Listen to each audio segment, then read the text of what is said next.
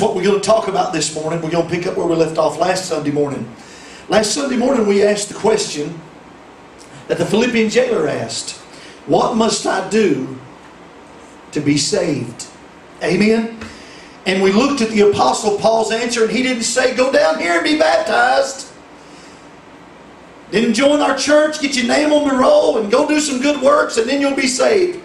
The Apostle Paul told him when he asked, What must I do to be saved? He said, Believe on the Lord Jesus Christ. Amen?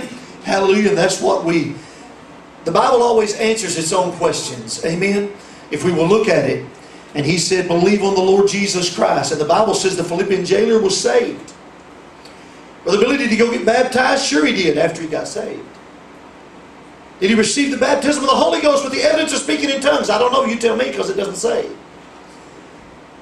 Salvation comes through faith in what Jesus Christ did on the cross of Calvary. You can't add to that and you can't take away from that. How righteous you live doesn't make you holy. How good you live doesn't make you holy. Only the blood of Jesus makes you holy. When we stand before God, we will stand there righteous through the blood or we will stand there not righteous at all.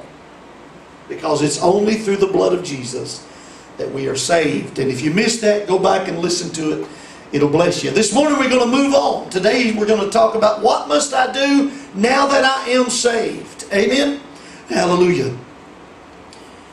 If you'll turn in the Word of God with me this morning to, let me find, we're going to, Matthew, we're going to uh, Matthew, I mean John, the fourth chapter. we're going to John, the fourth chapter. Hallelujah. And we'll get there in a minute. Thank you, Lord. But last week as I was preaching, I said something. Every now and then I'll say something that I'll think, wow, that's good. It doesn't happen very often. But once in a blue moon, I'll say something that I'll think, wow, that's good. I might even think, I might even think that's deep. But in the end, I always think that's God. Amen? And what I said was this. The Lord didn't save you to seat you. The Lord saved you to send you. Amen? He never called anyone and told them, okay, now don't you go nowhere don't you do anything. You just sit there. He never called any person, he never saved them, called them and said, okay, you're saved. Now, you warm that pew, that spot on the pew every Sunday morning and everything's okay. Amen? When we become born again, whenever we get saved, that's not the end. That's the beginning of our journey with the Lord. We're not supposed to sit there and say blessed assurance and never move. We're supposed to be a light to a world that is lost in such gross thick darkness that they cannot find their way. Every one of us today are called to be a light to the world. Amen? Amen? There is a blessed assurance that we should always rest in. There is a confidence, and you should not wonder, well, I don't know if I'm saved or not. You can know that you know that you know. I've heard people over the years say, well, I hope I'm saved. You should know that you're saved. I hope I'm right with the Lord. No, you should know that you're right with the Lord. And if your faith is in what He did on the cross of Calvary, then you are right with the Lord. I heard one old saint say one time, if I can just make it in by the skin of my teeth. No, if you make it in, it'll be by the blood of Jesus. Amen. So today we can know and we can have that assurance and we should always rest in that. But we should never become complacent. We should never become so at ease in Zion that we think visiting the church three times a week is all that needs to be done. There should be a fire burning in us today to share Jesus with somebody else.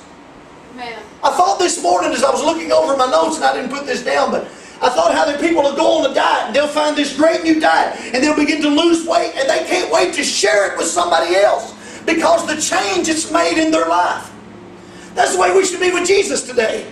He should make such a change, accepting and putting our faith in Him, make such a change in our life that we should not be able to wait to share Him with somebody else. To let them know what He has done for us. People don't hesitate to share with you how much weight they've lost on Weight Watchers or some of the meals you order through the mail that you see the commercials for and all of that. I hear from people all the time saying, I've lost this much weight. I did it this way. Send me a message and I'll tell you how to do it. Well, our message today to, should be Jesus saved me, brought me up out of a miry pit, set my feet on a rock to stay. Let me tell you how He can do that for you. Let me tell you how you can get what I got. Amen. So once we get saved, it's not just like we're done. I'm just going to sit here. No, when the Lord saved you, He didn't save you to seat you. He saved you to send you. Amen. Everyone who is saved, everyone who has been touched by the hand of the Lord is called to do something for the Lord. Now, you may not be called to preach. You may not be in, not in behind the pulpit anyway. You may not be called to teach Sunday school. You may not be called to sing or to lead psalm service. But you're called to be a light to a lost and dying world. The truth of the matter is, you may be, and this is an old song, but there's so much truth in it. You may be the only Bible that some people ever read. The influence that you have on their life may be the only thing that stands between them and eternity in hell. The light that you shine, the witness that you are, the influence that you are, Brother Tyler, may be the only thing that stands between someone's soul and eternity in hell.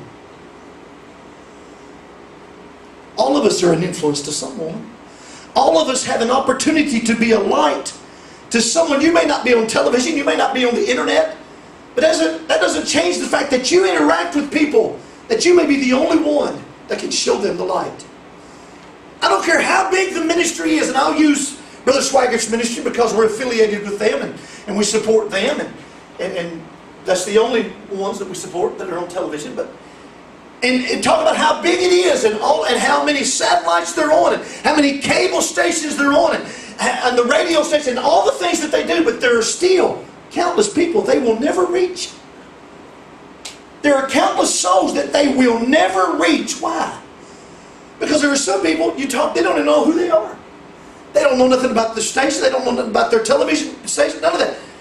There are some people that they will never be able to reach, but you can.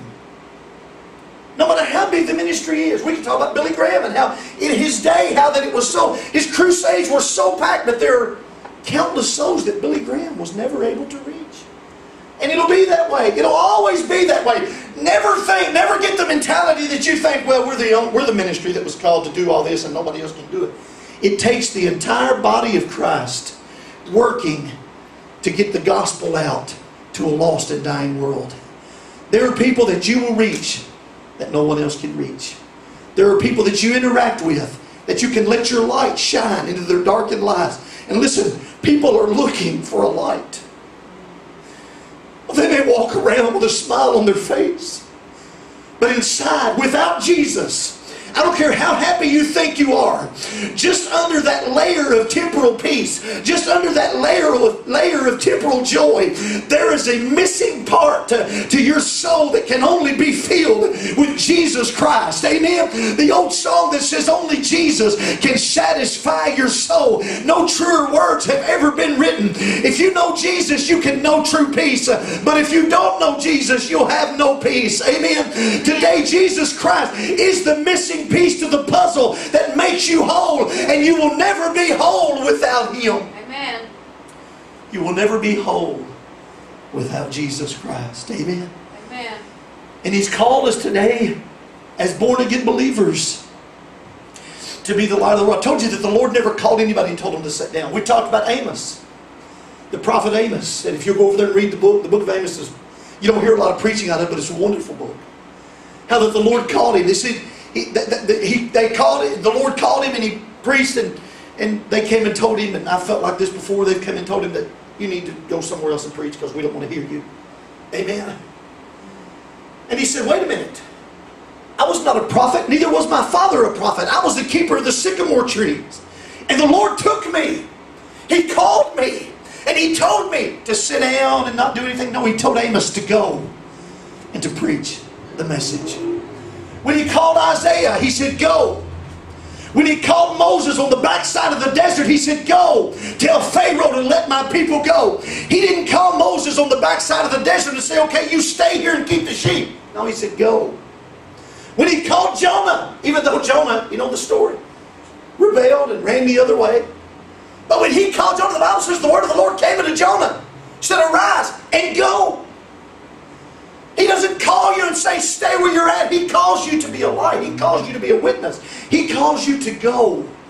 into the world. Not to be some recluse or to have some kind of, you know, we've got people who, they'll have compounds where they'll, a lot of families will gather, or they'll have just these select villages. I've known of a, known of a few in Tennessee where these people would gather and make their own community. And they would withdraw themselves from the world so that they wouldn't be tainted of the world and they wouldn't be part of the world system. That's not what God's called us to do. Listen, we are, we are in the world, but we're not of the world. Amen? Amen. We have to be a part of the world because we are the light. He left us to be the light of the world. Amen? So when he called these men, when he called Isaiah, he said, go. Amos, he said, go. Jonah, he said, go. When he called you, he said, go. He's everyone in the sound of my voice. If you're saved, he's told you to go. Go and be the light that you're supposed to be.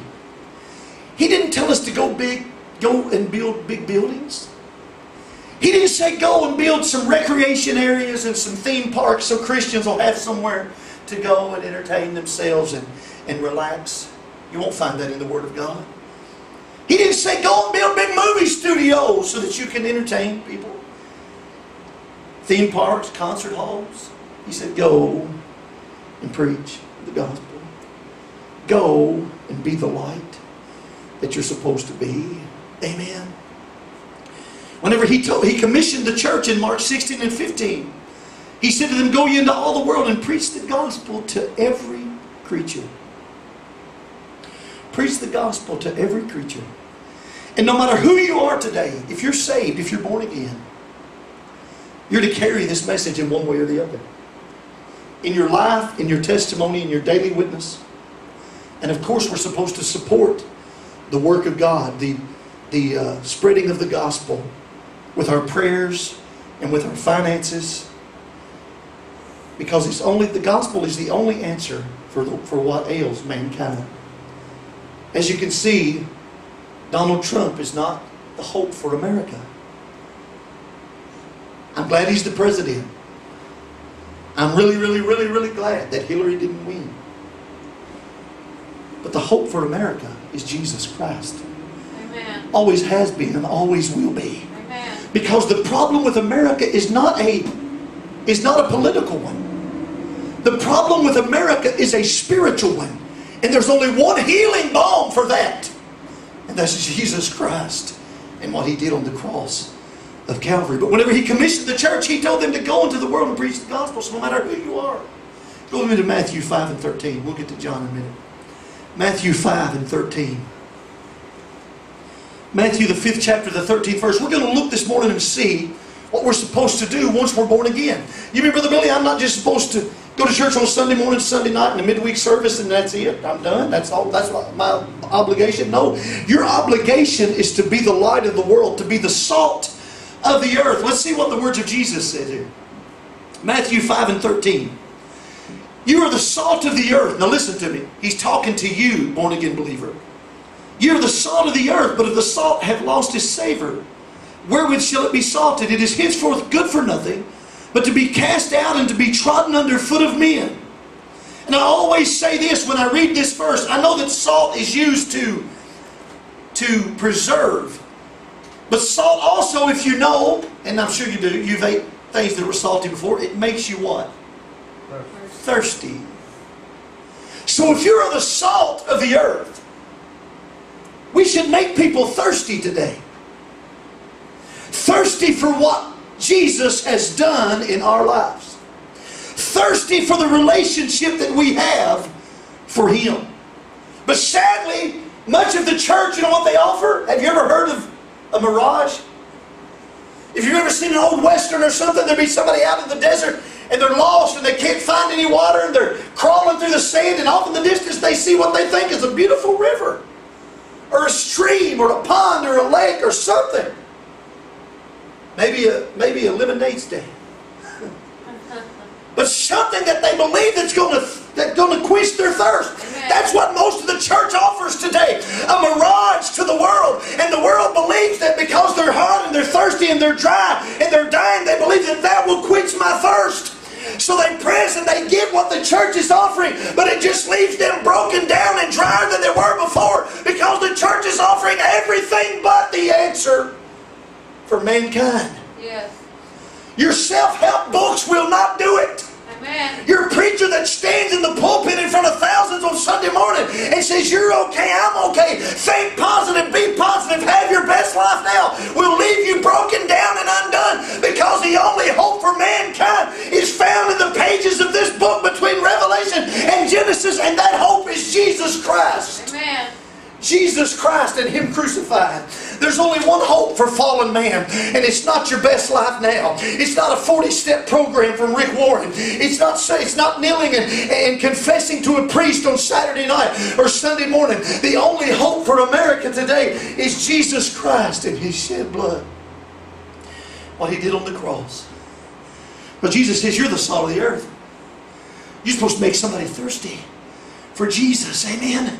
But the only thing that the church is offering today is cisterns, broken cisterns that can hold no water. And they leave the, they leave the world in as bad a shape as it was before it came. People flock to churches today with a longing and a hunger in their soul. And the only thing the church can offer is rap music or rock music or flashing lights, strobe lights, or smoke and mirrors. And none of that has anything to do with the moving of the Holy Spirit and the preaching of the Word of God. Amen. which is what the world so desperately needs. The scripture I was going to have you to go to, you don't have to, but because we're going to read more in Matthew, the fifth chapter, was in John 14, uh, John the fourth chapter, where Jesus was talking to the woman at the well. And he said, Whosoever drinketh of this water shall thirst again. That can be applied to that which the church offers today. 95% of the church is offering you something that will cause you to thirst again. But Jesus told this woman, But if you'll take of the water that I offer, if you'll take of the water that I offer you today, and he's saying that to fallen man, he's saying that to the church today. If you'll drink of me, you'll never thirst again. You won't want to drink of the broken cisterns of the world. Once you've had a taste of Jesus, nothing else is going to satisfy you. Once you've had a taste of His Holy Spirit, once you've had a taste of Him, and we should make people thirsty for a taste of Jesus today. The love that they see in our life, the change, the relationship with the Lord. What's He going to say there in, in Matthew 5? Verse 14 You're the light of the world. He's talking to you. You are the light of the world. A city that is set on a hill cannot be hid. This light that is in us, this Jesus that is in us, cannot be hid. And if you try, you'll find yourself miserable like Jeremiah was. When he said, It's like a fire that was shut up in my bones. And I tried to hide it. I tried to sit on it. I tried to sit down and shut up, but I couldn't. That's the way it should be with us today. We should have we should be compelled to share Jesus with someone. A city that is set on a hill cannot be hid. Neither can the Jesus in you. Not once you've been saved and born again. What's he going to say? Matthew 5 and 15. Neither do men light a candle and put it under a bushel, but on a candlestick, and it giveth light unto all that are in the house. He's still talking about you. Amen. You who are saved. Amen. You who have Jesus in you, who is the light that makes you be the light of the world. And what happens when you light a candle and you put it on a candlestick? It says it gives light into the whole house. But what happens to that same candle if you hide it under a bushel? Somebody tell me what happens to a candle if you cut off any oxygen to it? Goes out. That's what happens when you try to hide your light. I told you before about the lumberjack who came down out of the mountains and got saved at the tent meeting and went back up to work and he wasn't going to be able to come back down for six months. And the preacher said, we better pray for him. And guys at the lumber camp, they're rough people. They'll give him a hard time of it. He comes down six months later. He comes to the tent meeting that they're having then. And, and they say, well, we've been praying for you. We know it was going to be hard. He said, well, it wasn't hard. I just didn't let them know I got saved. If nobody knows you got saved, you might go back to the altar. Because you might not. Because when you hide this light, it goes out. But this light was not meant to be hidden. It was meant to put on a candlestick and give light where? It said to give light unto all that are in the house. When you walk into a room, your light, His light in you, should lighten that, should brighten that room up. Listen to me, if you go places where you can't let your light shine, let me give you some advice this morning. Don't go back. Amen? If you find yourself in places where you cannot allow your light to shine, when given the opportunity or to share Jesus with somebody, when given the opportunity or the doors open, when you if you fellowship those places, quit going to those places.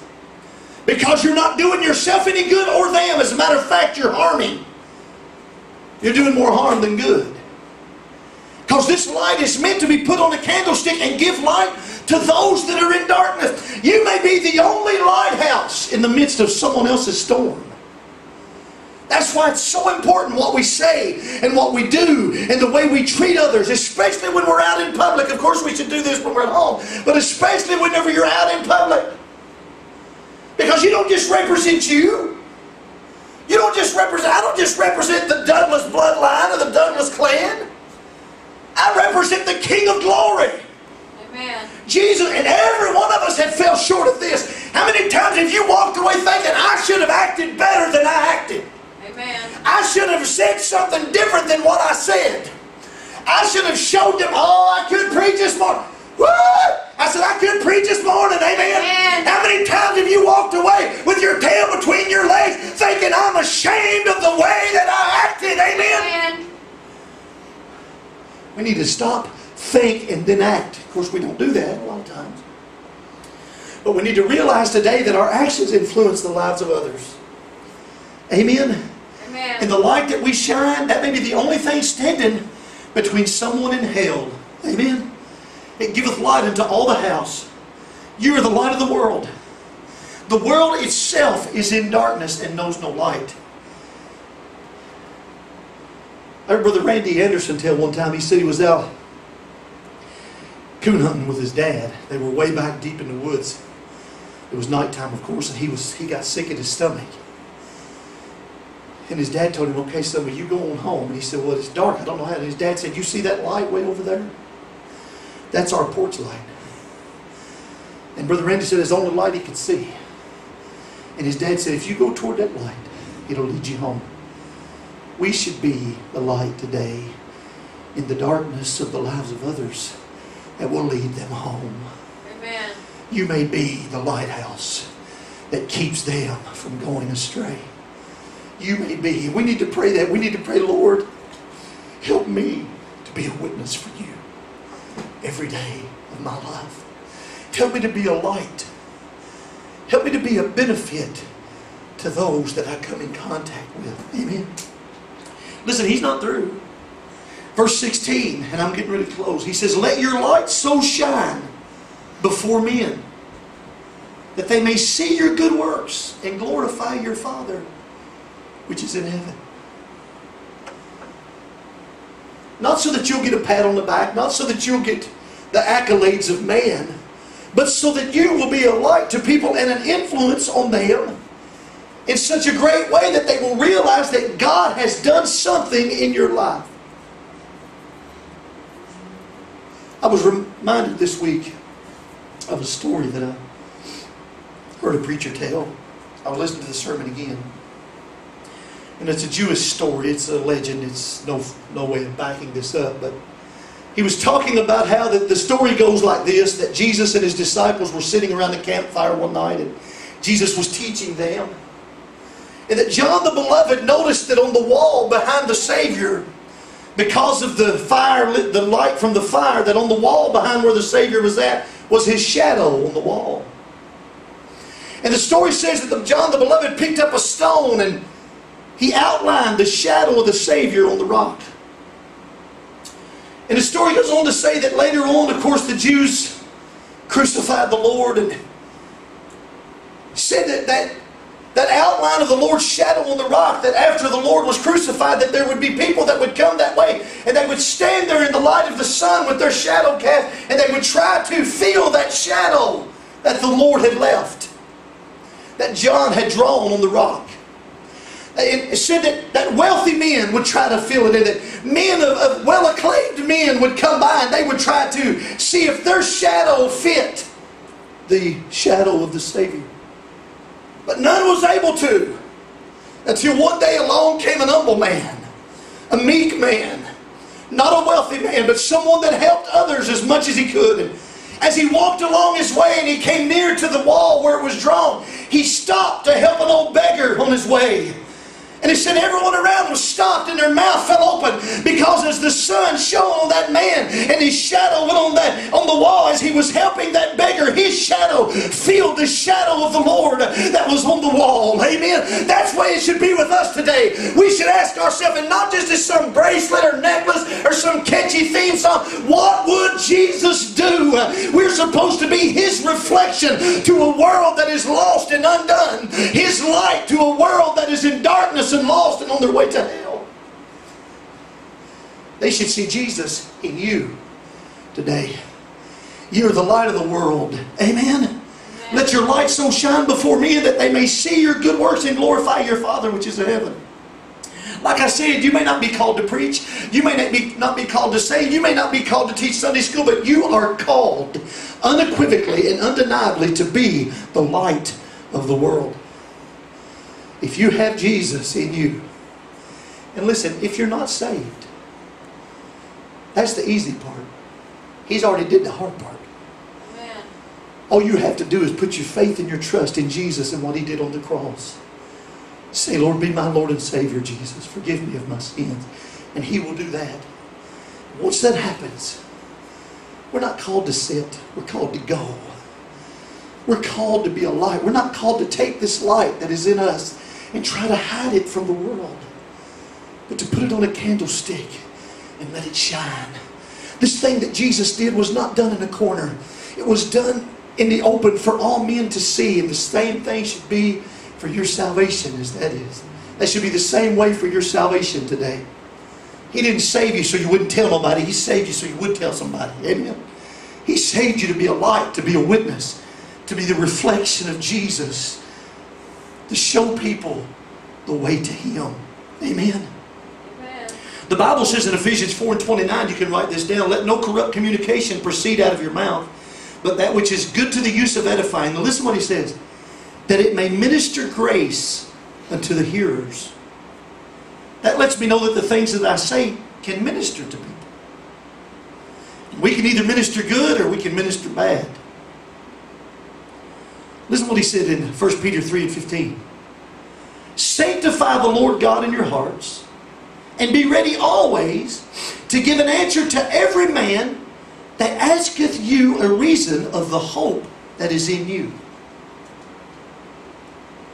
Now, why would anybody ask you unless they first saw it in you? Be ready to answer, give an answer to any man who asks you of the reason. Why are you so hopeful? Why do you have this joy? Why do you have this peace? I'm so glad you asked. Jesus. Don't answer them, well, I go to church every Sunday, because there's a lot of miserable people in church every Sunday. Amen. Some of the most miserable, sired people I ever met, hateful, was in church every Sunday. Oh, quiet in you. Amen. Tell them Jesus got a hold of my life, and He won't let me go. Amen. Amen. So we should be a light for them to run to. We should be salt that makes them thirsty. We should show them enough of Jesus in our life that they come to us and say, How do you get through it? You've been through a lot, but I noticed you've got peace. I noticed you've got joy. How do, what, what, is, what is it that causes this? And you can turn to them and say, It's not a what, it's a who. Jesus Christ has saved my life. Amen. And this can be applied to even the simplest things. Amen.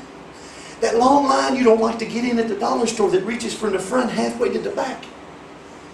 and the people all around you are growling and complaining, and you're standing there with a smile on your face. I just don't understand him. I don't understand her. How are you still happy? Oh, I'm glad you asked me. Amen. Glory to God. Jesus got a hold of me. Lord, Jesus Christ is my hope. He's my joy. Amen. He's my peace. And we're supposed to not take that and, well, Jesus saved me. Now I just got to go to church every Sunday morning and that's it. No, you're supposed to be the light. You're supposed to be a witness to people. And you really are, whether you realize it or not.